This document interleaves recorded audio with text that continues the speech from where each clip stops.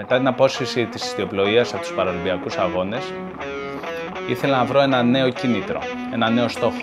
Και έτσι βρήκα το καγιάκ, γνώρισα αυτό το υπέροχο άθλημα που δεν συγχωρεί λάθη.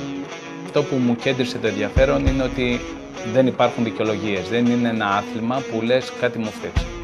Είσαι εσύ υπεύθυνος για το αποτέλεσμα. Είμαι ο Θοδωρής Αλεξάς και είμαι αθλητής του Παραγανώα.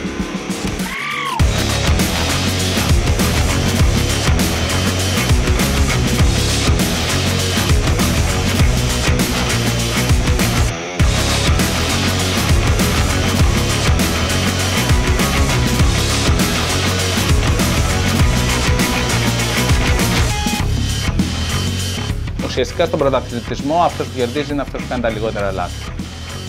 Έτσι και εμείς χρησιμοποιούμε την τεχνολογία τελευταίας γενιάς ώστε να δουλέψουμε πάνω σε πολύ μικρά κομμάτια στην τεχνική μας για να μειώσουμε τα λάθη μας.